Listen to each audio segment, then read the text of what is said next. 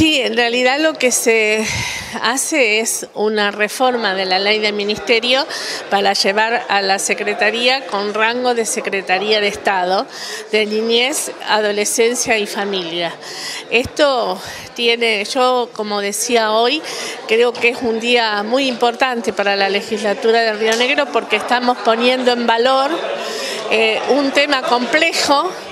que cada vez es más complejo por las características de la sociedad y porque eh, no podemos hablar de niñez y adolescencia si no hablamos de familia y la familia ya no es la familia de antes, este, con ese concepto de mamá, papá y hermano. Este, se habla de familia, la familia ensamblada, la monoparental, a las familias de lo del afecto. Y bueno, este, esto realmente es una cuestión que nos vienen pidiendo desde hace mucho tiempo por una decisión del gobernador Beretinec, en su momento quien fue este, la legisladora mandato cumplido Viviana Pereira, recorrió toda la provincia de Río Negro integrando al resto de los ministerios y también a los trabajadores y a las organizaciones no gubernamentales que tienen que ver con la temática y se armó todo un programa este, y un protocolo para, para, trabajar y bueno, parte de esto es lo que este, hoy está plasmado